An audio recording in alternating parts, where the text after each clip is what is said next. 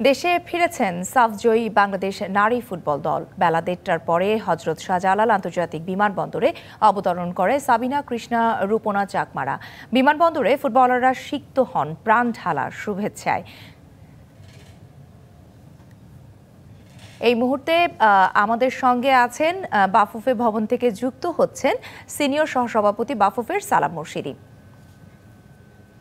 আপনাকে স্বাগত এবং একই সঙ্গে শুভেচ্ছা এবং অভিনন্দন। যে কোনো সময়ই বিজয়ী দল বাফুফেতে চলে আসবে, নিশ্চয়ই আপনি অনেক ব্যস্ত। তার মধ্যেও আমাদেরকে সময় দেওয়ার জন্য ধন্যবাদ।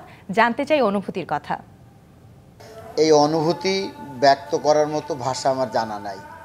কারণ একজন সাবেক খেলোয়াড়, সংগঠক হিসাবে এইরকম অনেক অনেক চ্যাম্পিয়ন কিন্তু আমি হয়েছি জাতীয় খেলায়, আন্তর্জাতিক খেলায়। কিন্তু এই ধরনের সম্বর্ধনা, এই ধরনের সম্মাননা আসলে আমরা অতীতে কোনো সময় নিজের চোখে দেখিনি।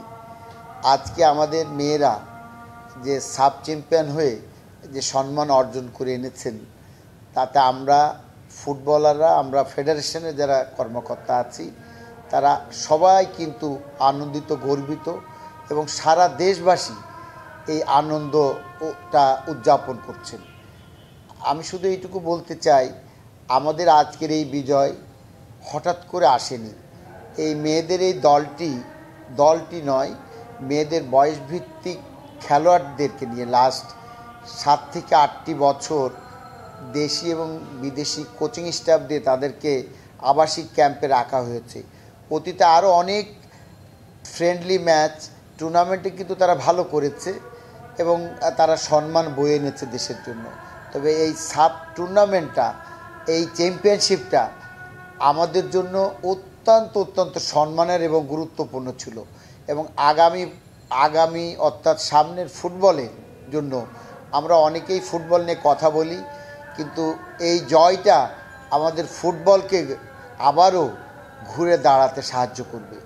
তাই আমি নারী ফুটবল দলে যারা আজকে অধিনায়ক এবং তার যে দল তাদেরকে নিজে আমি অভিনন্দন জানাই, কর্মকর্তাদেরকেও অভিনন্দন জানাই এবং এই টিমের সাথে যে যিনি অনেক দিন এই টিমটিকে ধরে রেখেছেন ওমেন সুইংসের, কিরণ ম্যাডামকেও জানাই। সর্বোপরি আমাদের সভাপতি কাজী সালাউদ্দিন, তিনি সার্বক্ষণিকভাবে আমাদের সব ধরনের খেলা তিনি মনিটর করছেন। আমি আশা করি আমাদের এই আজকের যে আনন্দ, আমি নিজেও কিন্তু একজন খেলোয়াড় হিসাবে আমি অনেক জনপ্রিয় দলে খেলেছি। অনেক বড় বড় অর্জনও এসেছে।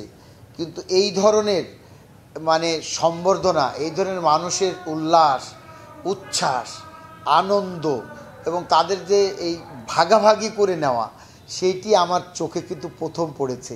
জি সালাম মুর্শিদি আমরা আমরা জানতে চাই এবং আমরা চাই যে আমাদের আমাদের এই ধরনের উদযাপনের মুহূর্ত আরও সামনের দিনগুলোতে বারবার আসুক, এই ছাদ খোলা বাসের ব্যবহার আরও বহুবার হোক। তার জন্য নিশ্চয়ই যেটি ধারাবাহিক প্রস্তুতির কথা বলছিলেন, সামনের দিনগুলোতে পরিকল্পনা কি? পরিকল্পনা হলো এই দলটিকে শুধু অভিনন্দন নয়, তাদেরকে ইতিমধ্যে অনেকেই পুরস্কৃত করেছেন। অর্থ দিয়ে মাননীয় প্রধানমন্ত্রী, গোলকিপারের ঘর বানানোর জন্য বা তার ঘর তৈরির জন্য অলরেডি নির্দেশনা দিয়েছেন। অনেক কিছু চলবে, তবে আমি মনে করি এর ধারাবাহিকতা ধরে রাখতে আমাদের যে নিয়মিত ক্যাম্পগুলো চলছে, আমি আমার অভিজ্ঞতা থেকে বলি যে তাদেরকে ক্লাব আরও আমাদের বাড়াতে হবে। অর্থাৎ আমাদের যারা supporter base club, Mohammedan Abahani এবং অন্য অন্য শেখ জামাল, শেখ রাসেল ক্লাব যারা আছে এবং কিছু কর্পোরেট টিম যদি মেয়েদের টিম করে লিগ করে, তাহলে শুধু তারা যে অর্থনৈতিক দিয়েই বেনিফিটেড হবে তা না, তারা, তাদের পারফরমেন্সের ধারাবাহিকতাটা ধরে রাখতে পারবে।